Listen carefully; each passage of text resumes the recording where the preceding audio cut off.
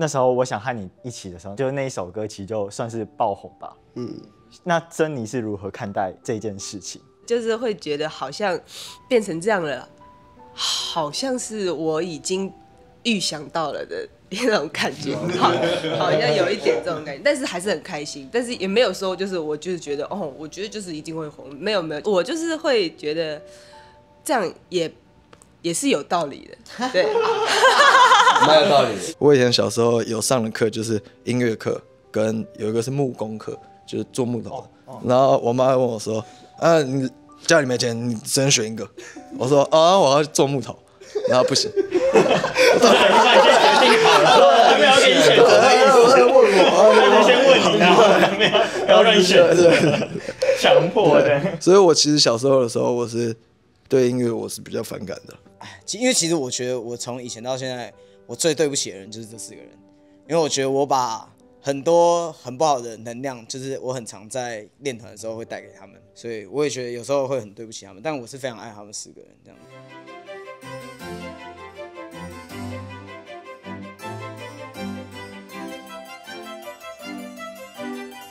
Hello，大家好，欢迎收看《因你而在》，我是主持人 Ting。让我们掌声欢迎温蒂漫步。耶！大家好，我们是温蒂漫步。我们各自介绍一下。好，我是鼓手阿瑞，我是吉他手 Joe，我是键盘手李耀如，我是吉他手珍妮，我是主唱兼贝手江阳。耶，没错，他们暌违大概三年吧，三年吗？三年差不多，然后发行了第二张。我很想老实问一个，就是你们有想刻意拆掉就是浪漫系？乐团的这个标签嘛，因为像其实像你们在 Spring Spring 这一张的时候，就是第一张的时候，你们是比较以粉色系为主，然后可能被称为浪漫系乐团。然后这一张你们完全相反，就是做了一个算是 Mi Midnight Blue，然后是完全是以午夜来，所以我蛮好奇说你们是不是哎有想要可以就是撕掉这个标签。嗯，是没有想过要撕掉啊。应该说，应该说，我们发第一张的时候也不知道会是有这个标签，所以应该说，就是这个标签对我们来说，就是它是存在，但就是就是大家对我们的印象可能就是这样子。但就是我觉得这个这个就是呢，我觉得就是我们也没有想说我们要把这个标签强加在自己身上，就是我们还是以我们自己现阶段想做什么样风格的音乐。为主这样子，嗯，其实你们说你们想要透过这张专辑，就透露出可能你们本本身乐团本身的转变啊、成长，跟当下这样，就转变可能就是这次用蓝蓝色来回应大家印象，所以用专辑名称就用成 Midnight Blue，嗯，然后去凸显，然后成长就是因为你们经历了就三年，然后身份不管是身份的转换，或者是可能有人去当兵，然后这些，然后或是碰到疫情。这三年，嗯嗯，所以可能就就会有成长的部分，然后当下就当下的话就是指说，哎，你们可能之前是比较可能现场卷的比较多，那这个反而相对来说比例就比较少一点，这样对？对，在这次，但也也会有其实会有不同的挑战在里面，对，就是当进录音室的时候，就实际要录的时候，就会需要比较多的练习，这样，对对。对对，我我特别蛮想问一下，因为其实你们。那时候我想和你一起的时候，那张曲就是那一首歌其实就算是爆红吧。嗯嗯。那珍妮是如何看待就是这件事情？因为词曲创作其实是你你嘛，然后其实你们自己有预料到这件事情会发生吗？然后你们爆红就是算这首歌爆红的时候，你们心态是如何？我觉得可以各自分享一下。其实呃，就是就是觉得很开心啊，就是很惊讶。对，就是，但是好像我自己也没有惊讶到那种，就是好像啊，怎么会这样的这种程度也没有，但是就是会觉得好像哦，变成这样了，好像是我已经预想到了的那种感觉，好像有一点这种感觉，但是还是很开心，但是也没有说就是我就是觉得哦，我觉得就是一定会红，没有没有，就是只是。我就我就是会觉得这样也也是有道理的，对，没有道理，平常心，平常心，对。那我我特别想问一下，就是因为其实爆红它另外一个相相伴的就是压力，你自己本身会有压力吗？呃，压力一定是会有的，就是会也会担心说，就是以后，嗯，除了这首歌，那别的作品，那大家会不会就是没有这么喜欢之类的？就或者说，会不会以后的歌没有办法超越这首歌的那个流量、那个大家喜欢的程度啊什么的？也会就是担心说，那自己现在的这个能力。有没有办法就是负担得起大家对我们的期待啊，或者说对我们的那个嗯喜爱？就是我有没有办法就是好好的给大家做回馈这样子之类的？其实我自己也是跟可能跟珍妮差不多，就是好像一开始这首歌红的时候，我也是我也是觉得说好像本身就会走，呃，就是好像也会觉得说就是。就是你也不会去设想，因为发那时候发专辑，其实对我们来说，我我自己觉得是好像就是就是在赌一个有或没有的感觉，就是有，那就是继续玩；没有的话，可能就大家就是要开始想做别的事情，因为那时候已经快毕业了嘛，大大学要毕业了，对。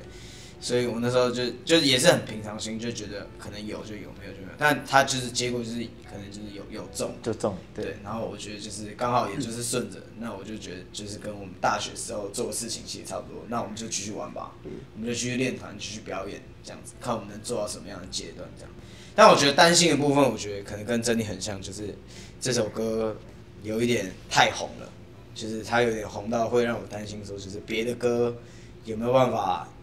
能有跟他一样的能量，或者是这张专辑有没有办法有别首歌可以跟他有一样的，就是流量之类的，就是也会担心这个。然后我觉得压力的部分，就是我觉得也是跟这很像，就是我们的能力有没有达到大家的喜爱，就是大家对我们的期待到底有多大，其实我也不确定。但就是就是压力一直都是自己给自己的，就是你也不确定自己会面对什么事情。嗯。对大概就是这样，其实很像。他要有没有什么压力？因为我们一开始玩乐团的时候，我们算是都没有讨论过未来的目标会怎样，就是我们就是纯粹五个很喜欢玩音乐，对，然后刚好在同一个系，所以对对对对，就这样组组起来了。那我觉得我想和你一起这首爆红的时候，就是对我来说很像一个礼物，就是真的是奇迹式的礼物，就是哇，就因为我从来没想到可以有到这种流量。就是一天一万，一天一万，一天一万在跑，然后哇，现在八百多万，八百多了。对，我就哦，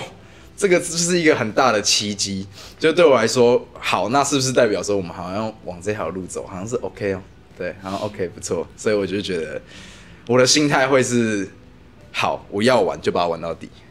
对，我觉得我们大家应该会是这样。嗯嗯，对对对。在进下一个之前，我想先问，就是你们自己现在是完全。就是正职是音乐，就是在问你那是的，我们是全职，是因为其实上一张算是你们其实算是毕业制作的作品，啊，有点像，有点像。我那那时候那时候做毕业制作的时候，我们有问老师说，可不可以让我们不要参加学校的毕业制作，用这张专辑当我们的毕业制作，但他们说不行，所以我们那时候是边做学校的毕业制作，然后边做我们自己的专辑。对对，学校我可以问一下，因为呃，你们你们是读黎明科。大学表演艺术系，然后我还蛮好奇，就是学校会教些什么。然后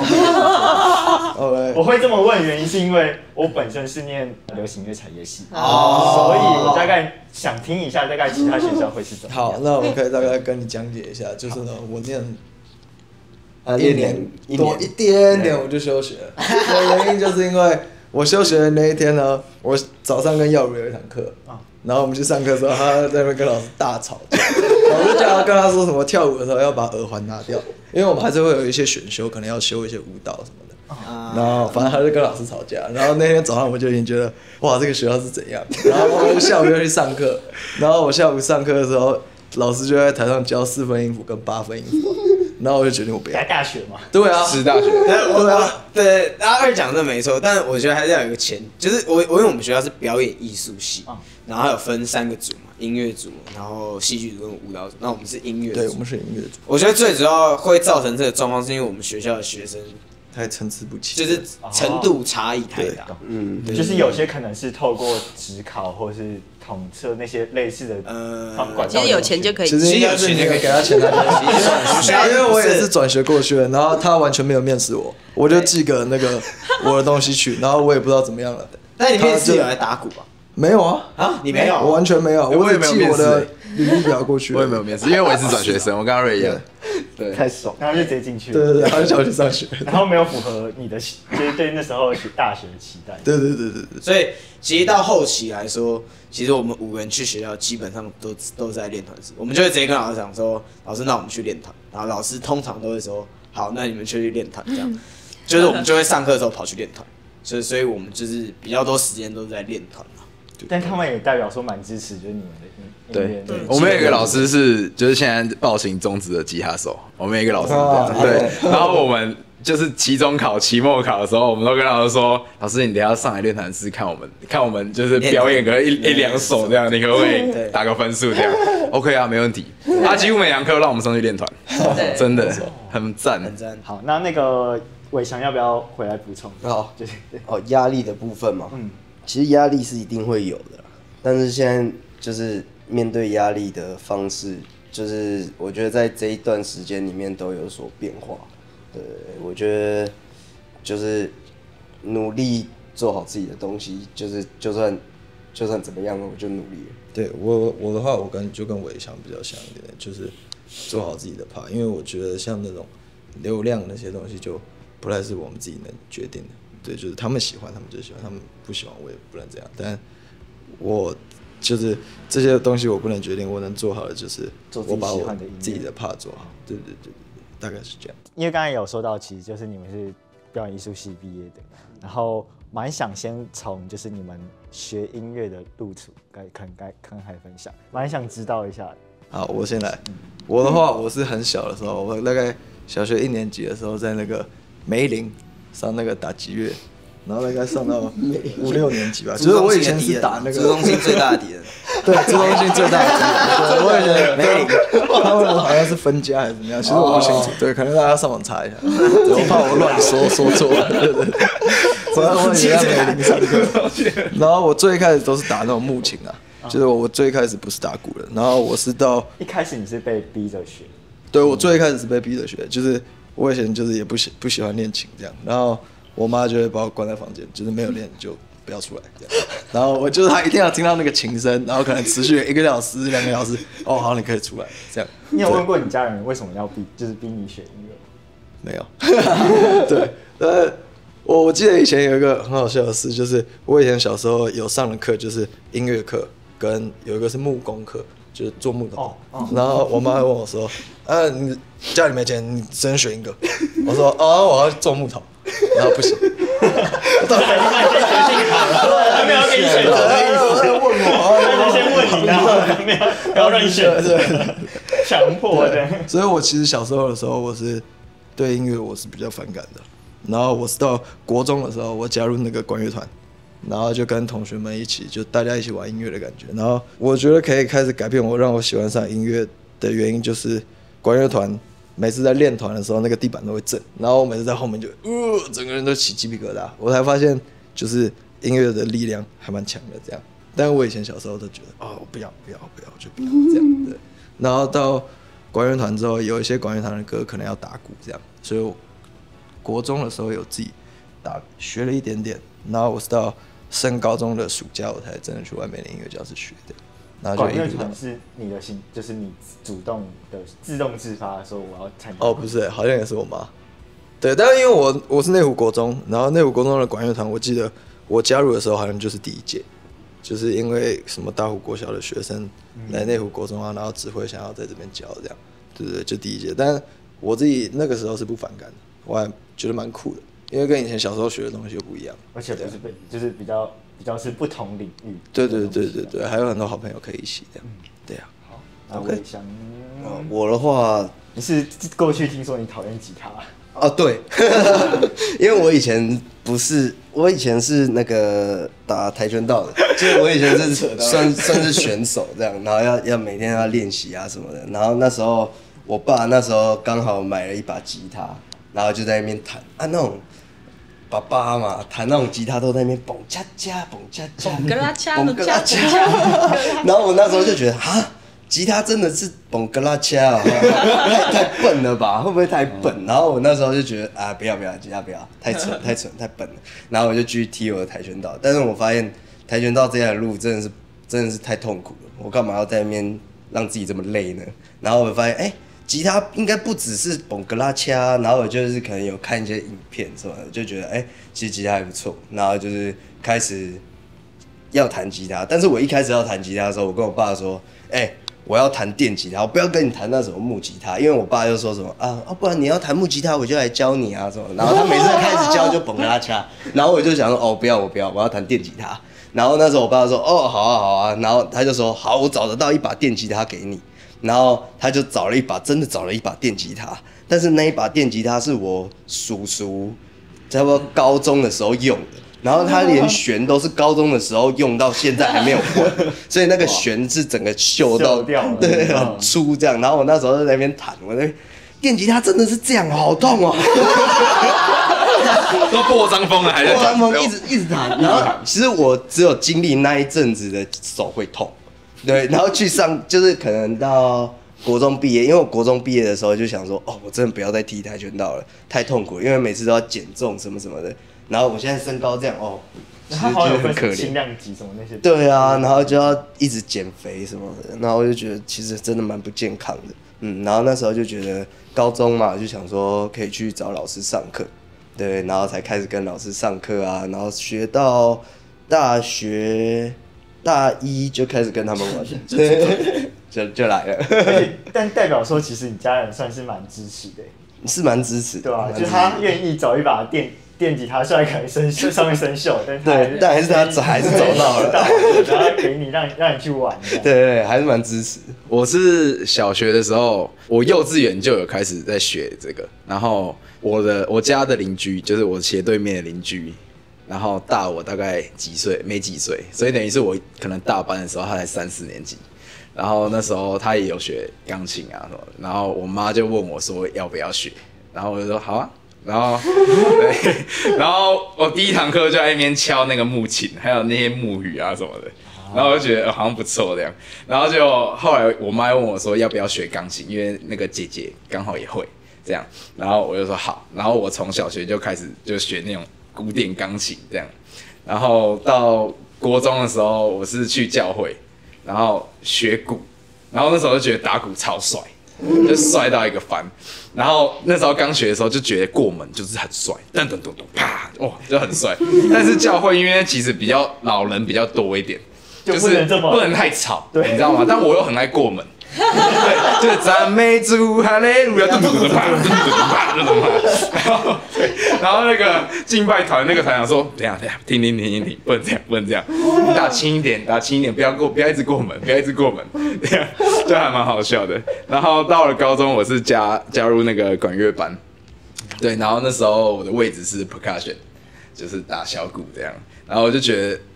呃，管乐管乐团这件事情，我觉得也很酷。就大家一起，可能四五十个人在那边齐奏，这样就是，而且那是很有能，就是非常有能量的，非常。对你只要各司其职，一个人做一件事情就够了，对，就很酷。然后再到大学的时候，我大学原本跟呃不是念黎明，对我原本是念南华的，就是民族音乐系这样。但是因为我一直都觉得玩乐团这件事情很酷，就从我国中在进备团的时候就觉得，然后。但是我在那边就是没有找到可以一起玩乐团的人，对，然后我就转回来离转回来北部黎明，然后就碰到这几个，就遇到他们，然后杨顺眼就把我带到琴房，因为那时候我刚转过去嘛，然后他来他来找我讲话这样，然后他说，哎，你会弹钢琴吗？然后说，嗯，会会会会这样，然后好，那我们去琴房谈一下，然后我们就去一个暗暗的琴房，那根本平常根本没有人去，然后那个。那个钢琴椅子就很小，然后他硬要坐在我这个旁边，然后那时候第一次见面而已，然后我就觉得超级就很 gay，你知道非常 gay。故事因为他转学生，他没有人跟他讲，他那时候留长头发，看起来凶凶酷酷。但那时候我们我跟他还有魏翔，我们三个已经开始玩了，然后那时候还有我们前鼓手这样子，然后我们那时候刚好缺一个 keyboard 手，然后我就跑过去问他说：“哎、你会弹钢琴吗？”他说他会，然后我说：“那你带我去，我带你去琴琴房房，你弹给我听。”这样，然后他真的弹，我我就我当场吓到，因为他那时候，因为那时候我们学校没有 keyboard 手，然后我那阵子很喜欢听爵士钢琴，然后他我就说你会弹爵士吗？他就说他会，他要弹一个就那种万年爵士对可能 riff，这样100他弹给我吓，哇，很强哎、真的很强，我就问他要不要加入这样子，对，因为其实阿瑞也是转学生，对，对他也是从文化转过来，故事其实也是类似这对种状况，就是对。先他加入，然后最后是他的。哎没有没有他先先他，然后最后在对对对对对对，蛮特别。然后我讲最后一个，就是我现在就是当键盘手这件事情，我在国小的时候写我的志愿，我就是想要成为一个钢琴家，就等于是哇，算是有。我现在都觉得我现在每每一件发生的事情都很像奇迹，其实蛮幸幸运的啦。那珍妮，呃，我是我从小就很喜欢唱歌跳舞，而且我小时候也很喜欢 K-pop，就我很喜欢韩国的那种偶像啊什么的，然后我还。就是我还有那个投那个什么甄选，就是那种哦韩国的公司我还甚至有投那个甄选去，很投是韩国剧哦，就是他有他他们他呃那个时候我不在台湾，我在上海，就他们可能会到别的城市去挑选那个国家的练习生，哦那我会有会有投，虽然说没有上，对，因为我喜欢唱歌，所以我就大概国。我国中毕业之后，想要找一个可以帮自己伴奏的东西，所以我就想说要学吉他，然后就买了一把吉他，然后就自己自己才开始看网络的影片，然后那边学什么的。是木吉还是电吉？木吉他，木吉他，对，然后也去读南强的那个表演艺术系，对，然后就认识他也是读南强的表演艺术系，我们高中就是对，我们是同同学，哦。对，然后又就是就一起念念大学，后来就一起念大学，然后一起，一起出来社会工，就是变成到现在到现在。然后就然后就不小心变这样了，而且你们对啊，你们第一张 Spring Spring 的时候，就是几乎都是你们词曲包办。对哦，应该说几乎就全部那张都就是是我们你们词曲。对，对，就是天才啊，没有没有天才。天才儿童。大家都天才，你们四，个大家都是天才。天才，江阳，好，我学音乐，就我我也是呃国中爱唱歌，然后参加学校的那种歌唱比赛这样子。但是我学吉他是那时候国中准备要毕业的时候，我是为了把妹啊，就那时候喜欢一个女生，然后那个女生她说我最近开始学吉他，我想说哇，然后最主要是我有一次在那时候呃开学典礼上，她那时候要放暑假前，她跟我说她在学吉他，我就觉得。就是我好像也要跟上那种感觉，但那个暑假我我没有去学这样子，然后后来是开学典礼上，我印象超深刻，我看了那个女生，因为我喜欢她嘛，然后我看到她开学典礼坐在那边在给我练习指法，就是那种很很装逼，她在那边练习指法，我觉得不行，这太装逼了，我要去学吉他，然后我就回去跟我爸讲说我想学吉他，他就说好，然后就带带我到附近的那种音乐教室吧，就是学木吉他这样子。然后刚好国中毕业就升高中，我就去念南强的表演艺术系，因为那时候我也不知道我要干嘛，我好像也只会这件事情。然后我念书也念得很差，我爸希望我可以念一个公立高中，然后他请了大概三四个家教吧来教我，然后就是花了很多钱，他请了三四个家教，教了我一大堆有的没的东西。我后来长大以后还有呛过我爸，我说你把那个钱拿来帮我买多一点乐器还比较好，因为他请的那三四个家教对我来说到现在是零，就是我学的东西什么东西我全部都忘记了。反正我后来也是念南强，然后就是我在高中的时候也有玩乐团这样子，然后我在高中的时候，因为我那时候也是只会弹木吉他，然后上高中组乐团，然后会弹吉他的人太多了，然后没有人会弹贝斯，所以我就去学贝斯这样子。然后高三要毕业的时候，就是那时候我们两个同班嘛，我们两个还有一起弄那个毕业制作，我们两个还是那个音乐 乐团的那个小尖兵。就其实我们两个写歌的故事，两个一起写歌的故事，其实在高三就有哎了。哦就我们俩高三写那个毕毕业毕业歌，毕业歌。他写了一首，我写了一首，然后合在一起做撒尿牛。哎，就一开始是没有，一开始是我写一首，他写一首，然后是全部的，因为我们那时候两个班，舞蹈组跟戏剧组合在一起做毕业制作，所以两个班大概四十四五十个人选，说我的歌要当毕业歌，还是他的歌要当毕业歌，哦然后那时候是差一票而已，就是一半一半，哦，然后我们两个就说还是还是我们掺在一起做沙料，然后我们就真的就掺在一起，就是 A 段是他的，然后 B 段是我的，们的，对对，然后合在一起。合在一起。然后其实那时候我大学本来是想念戏剧，我没有想要继续做，就是我音乐那时候我没有想要做百分之百，我想要做一点别的事情，所以我那时候原本就去考台艺大，然后但是我没考上，然后我就跑去黎明，然后那时候我们两个就，其实我们没有，我们我觉得我们高中的时候算不熟，对，就是没有到像现在这样其实，我们大一也没有很熟，对，大一也不熟。那你们那时候互相彼此怎么看对方？高中的时候，呃，就也没有什么特别的看法，就觉得他就蛮好笑的，我就觉得，蛮好我就觉得，蛮好笑然后他人蛮好的这样。然后，然后我看他就是，因为他以前不是长这样，对他以前不是像现在长得这么女生一样。但我不是讨厌他，我就觉得哦，这个人对我来说就是一个朋友，好相处的朋友。然后我高中的时候，因为我不会带吉他到学校，因为我觉得很懒，我只会放贝斯在学校。然后我偶尔又会弹吉他，所以我每次都会跟他说：“哎、你吉他借我弹好不好？”我就一直跟他借吉他来弹这样。但我们不是一个会，我们那时候没有深交，对，就是只不同是一个圈圈的对，不同圈子的，不同圈圈的。然后是因为到一个系，就后来大学的时候，后来大学，然后到同一个系，系，然后到同班，然后后来是主乐团。那时候我找伟翔玩乐团嘛，然后就是因为班上要那个比赛什么之类的，然后就说要组个乐团，因为我有经验嘛，所以我就想说，那我找伟翔，因为那时候知道他会弹吉他，弹的蛮好的，我就问他要不要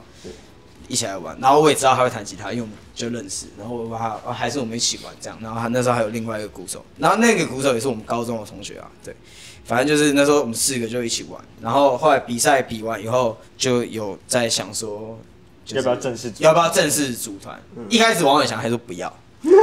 那时候算是比赛要的团，嗯。对，那个不算，就是原本我设想就是哦，比完赛之后我就要继续发耍我的废了，对，所以就那时候就说不要。对，但后来还是就是组完团，大家可能就觉得有有一点好像有感觉吧，然后就可以继续玩这样。但一开始也没有想说要找他，那时候也是本来说比完赛，因为他以前是弹木吉他，他算是加入乐团以后才开始练对练吉他。我以前比较独来独往，也不是独，就是我是那种一个人在那边弹吉他唱歌那种人，对 我还蛮好奇此，刻江阳刚才没说到重点，后来那女生有跟你在一起？啊没有啊，因为就毕业了嘛。嗯，但我相信，我现在如果没有了，开玩笑的，所以你没有在她面前弹过吉他？啊，好像没有哎、没有，没有学到。在追他的时候还在练呢、因为我以前刚开始练是有放弃过一段时间的。哦，真的假的？对，就是我觉得恋爱 ing 实在太难，那个对我来说太进阶了。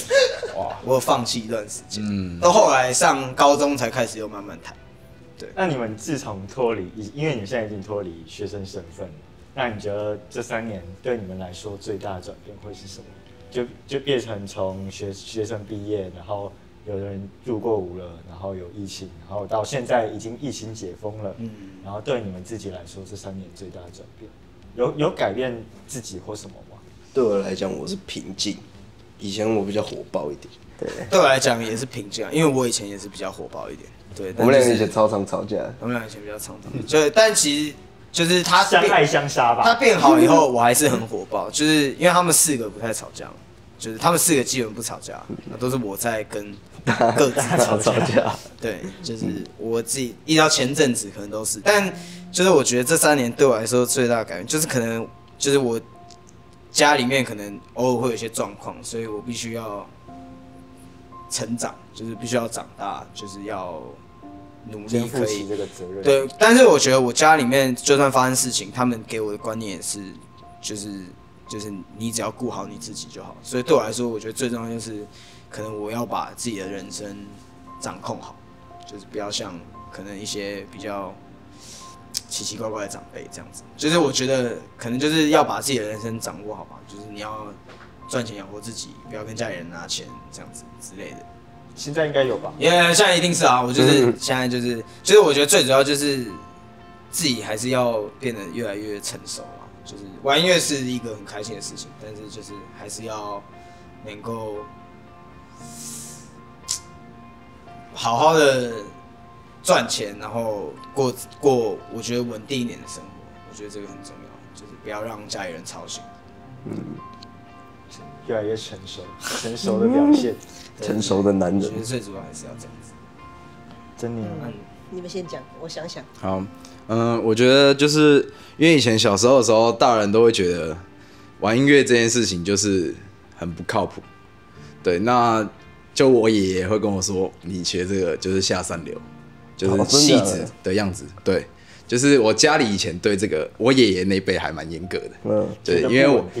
对对对，啊，我爷爷又是什么医生什么，所以他们对于我要做音乐这件事情是还蛮觉得对，能干嘛能干嘛。但我自己会觉得不要被这些话影响。我现在觉得我现在做这件事情，我觉得很屌，那就很屌。而且我觉得我不想要让我的人生留下遗憾。后悔。对，我不想要后悔，我就是想要做这件事情。我也没有想要证明给谁看，就是我要告诉我自己是不要被其他人的话语给影响。对我觉得我做的这件事情，就是我就是要坚持到底，然后我一定可以。对啊，嗯，改变，我觉得改变了很多，嗯，太多了你是会焦虑的还是？啊。哦，我会会，但我觉得珍妮对我来说，我自己看一眼，我觉得珍妮，因为我跟她认识算蛮久，高中可能到现在，她中间，她高中一开始我认识她的时候，她其实蛮对我来感觉来说是蛮活泼的，但是她玩团玩一阵子以后，其她她其实有一阵子是比较我觉得越来越不活泼了。对对对，我比较 emo 一点点，但比变得比较 emo 一点点。但是我觉得现在对我来说，珍妮又变得跟以前，就是它有点像是进阶版跟以前的综合版，就是就是开始他就也不会像前阵子那么对我啦，我觉得你不会像以前那么过于活泼吗？过于 emo，哦。但是你也不会说像那么久以前过于活泼，就是你现在在一个蛮好哦平衡。平衡，嗯。对，谢谢谢，谢。谢你帮我解围。嗯。那这你自己怎么看待？哦，我觉得他说的不错。有时候旁人看比较客观呐、对自己太多那种主观的东西加上去，就会不知道到底是怎样。对，问一下你们，就是自己有没有碰可能碰到瓶颈卡关，或是想要放弃的时候？其实我因为我很常也会去想说，到底为什么，就是我我有一天可以玩到现在这个程度。我从国中开始学吉他，到高中我念表演艺术系，我到大学念表演艺术系，然后我大学一毕业出社会，我第一份工作就是直接做乐团，这样就是好像一切看起来都很顺利，但是我也一直在想说，我这中间到底有什么阶段是说，就是可能旁边的人跟我讲说，你确定你还要做这个吗？你确定你真的做这个你有前途吗？你有办法赚钱吗？你会要做什么？就是我好像他们跟我讲这些事情，但是我在可能大学四年、高中七年，然后再加国中，可能接近十年这个阶段，我都在学这件事情，但是我好像从来也没有觉得说，哦，就算我毕业以后，我不能靠这个做下去的话，会怎么样？就是我也没有担心这件事情，就是我好像做所有工作我都愿意做，但是我好像还是可以在这条路上面再再走一下，再做一下，就是反正就走走看，就做做看，又没什么差，反正我就还是在念书这样子，或者即便碰到一些门槛，我觉得最大的困难就是我们在录专辑的时候，就是就是那样，但我也没有想要放弃，因为我们头已经洗一半了，就是我们就是硬干嘛。我的话呢，其实我每天晚上回家的时候，就一定还是会经历那种天人交战，就是自己跟自己的那种交战。然后我，我我觉得我很常，我最近很常发现一幕，就是我每天晚上都一定会去阳台抽一根烟。然后我们抽那根烟的时候，我一定要听音乐，然后我就站在阳台，然后播着音乐抽那个烟。然后我每次在抽的时候，我那个脸都是这样。嗯，然后我就会突然一瞬间发现，奇怪啊，我干嘛这样？就是我又没有发生什么事，我其实可以笑笑的就好。然后我就会突然，哦，哎、对嘛，对啊，这样子啊，这样就可以了。对对对对，就是还是要跟自己一直沟通。对如果是我，我在你邻居，我是你邻居，然后我每天都看到一个小弟弟在那样，我就觉得你是他干。但是我的话是，其实我不大，因为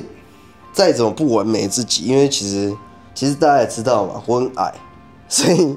就从这一点来讲的话，其实其实我早就已经接受自己了，对，而且其实我还觉得，因为以前其实就是大家在经历这个人生的过程中，多少都会对于自己有一些怀疑。然后其实以前我有对自己很多很奇怪的怀疑，我会觉得干男生好恶心哦、我觉得当男生超恶，因为我觉得，因为我从小我从小就跟我我姐嘛，所以我其实从小没有什么男生朋友，而且我又是什么跆拳道，然后跆拳道我的高中也是那个什么，我高中是那个什么服装系，然后我只要看到男生，我就觉得哎呦，恶心，这样就是觉得 啊，我也是男生哦，恶心对这样的那种感觉，对，都都是以前会有这些想法啊，但是其实都是就是想那么多干嘛？就是你觉得你自己啊，那你上厕所看到自己的那个的时候，会觉得很恶吗？很久以前会，真的假的？对啊，我觉得我都不知道好烂了。但你还是会把它洗干净吗？洗澡的时候？会啊，都洗啊，越来越歪了，越来越歪了，不完美的自己，不完美我不洗了。不洗了，就放着就好了。随便拿，随便随便啊。因为我们现在还蛮长时间在工作的，所以工作一结束，然后因为通常都开车嘛，对我都会一到车上就，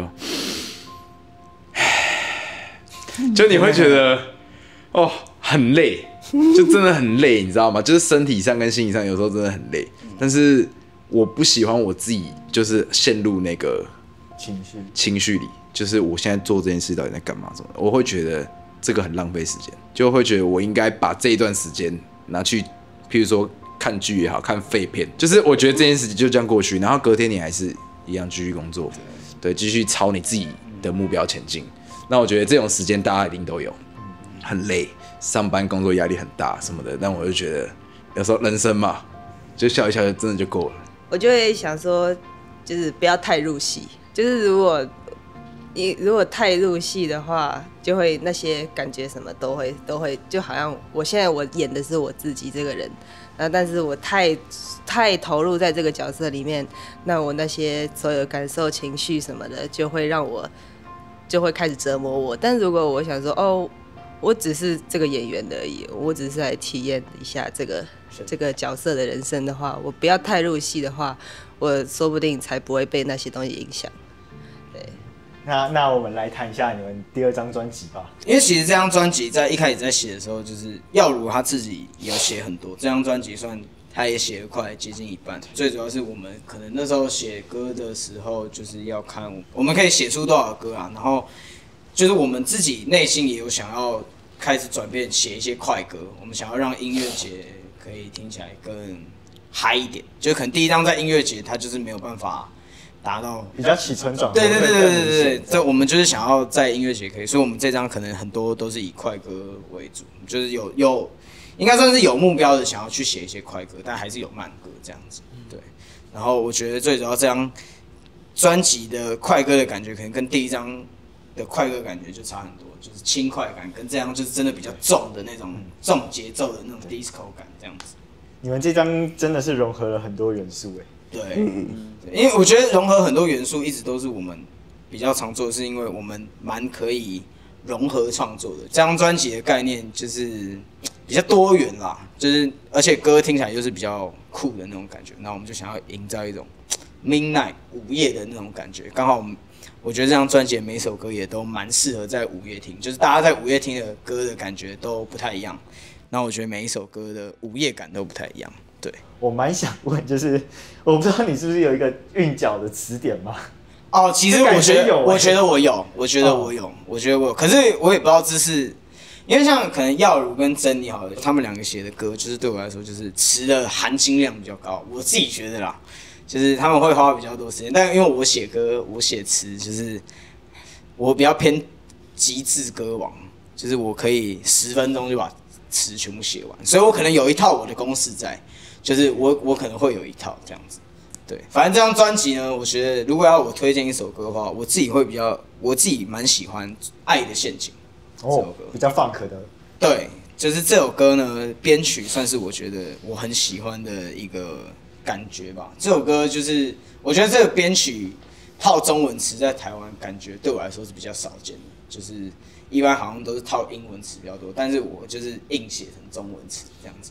就是这这首歌的编曲我很喜欢，就是他们吉他弹的 riff 啊，阿瑞打的鼓啊，廖如弹的 keyboard 的东西啊，我自己编的贝斯啊，我都蛮喜欢的。对，就每一首歌我都喜欢，但是这首歌就是编曲特别对我来说特别，我特别喜欢。嗯，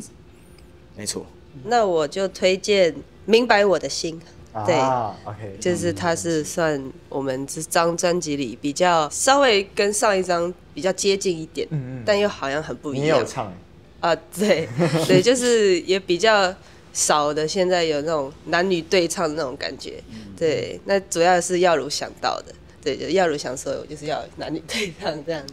对，因为基本上呢，他们两个的歌声是我目前人生中 觉得是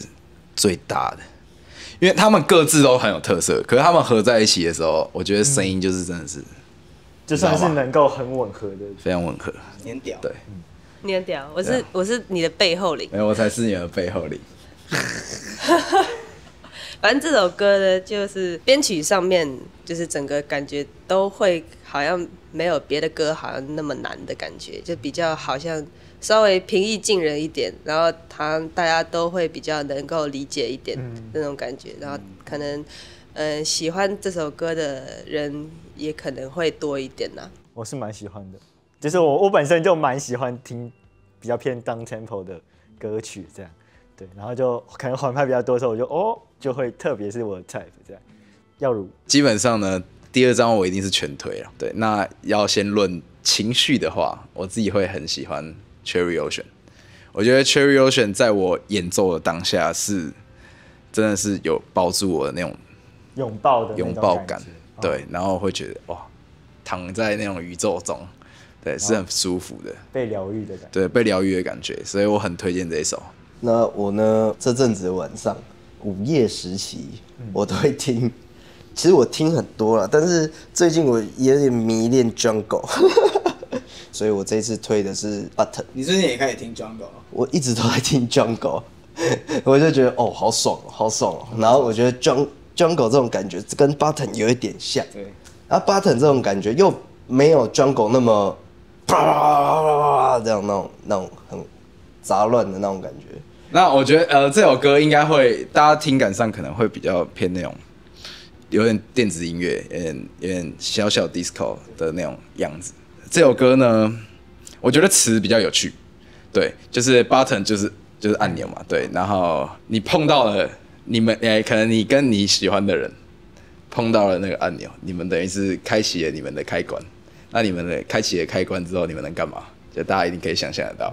对，所以是差不多也有一点往那方面的想法，对，色色的，我我的话，我推的歌就会是第一首歌《Midnight Blue》。对，我觉得以一个鼓手的视角作为出发的话，那整首歌的流线流线感跟它的行进感都是我非常喜欢。然后它整首歌的长度也刚刚好，对，它就可以一听再听。我可以特别问一下，就是因为你们这首有有 MV 嘛？哦，对啊。然后，你。们网球到底练多久？我真的很蛮好奇，因为听说你们是完全不会，然后对啊，但我们其实也根本没有练啊。就摸一下，对对，就是球来啊，你就就打对啊对啊，对，因为他其实也只有剪一小小的片段。片段在里面，对，所以那个导演很厉害，他把那个把我们全部的那个对他好像我们很厉害一样，但其实根本没有，这个没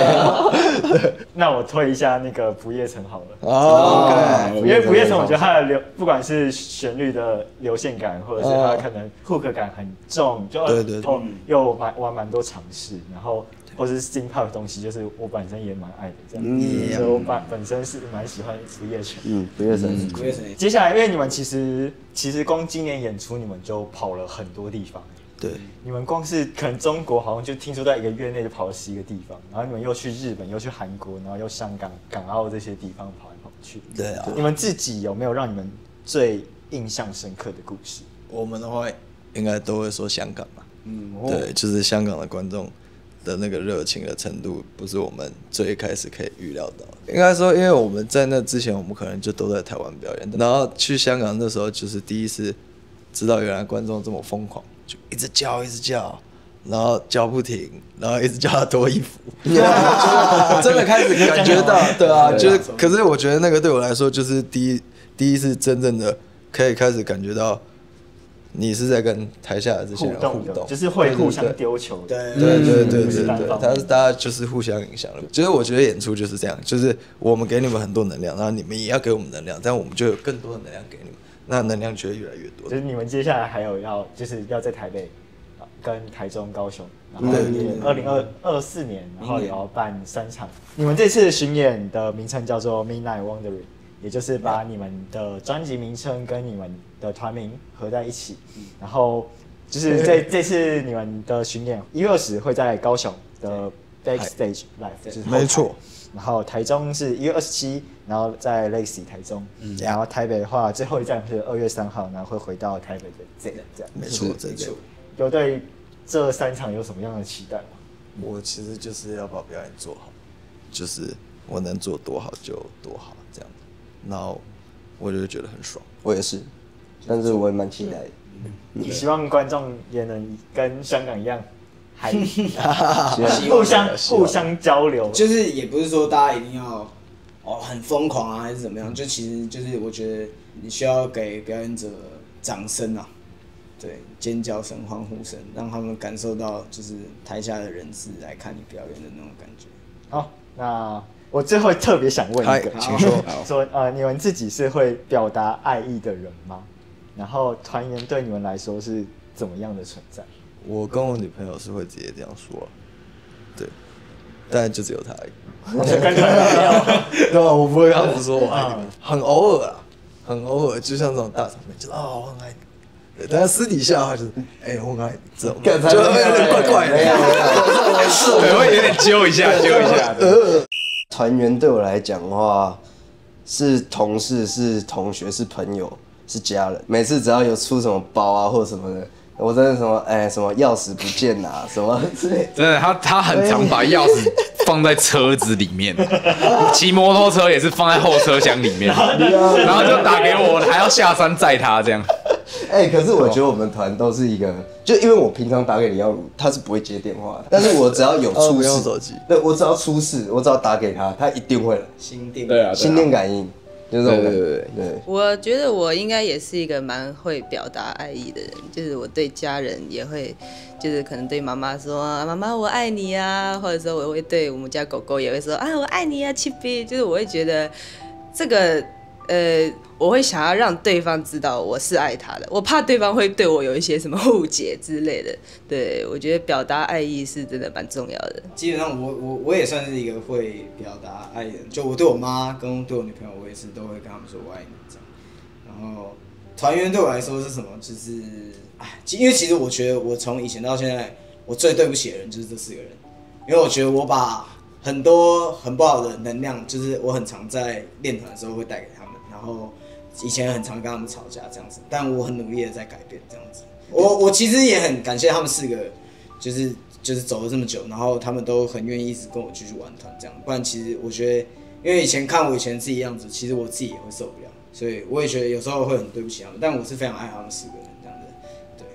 哇，其实你们大多数就是还是会说会表达爱意的。就是你不问的话，不会平常讲，因为我们平常都待在一起，不会有人这天这天突突然要表演，然后一上车，你说你，我爱你？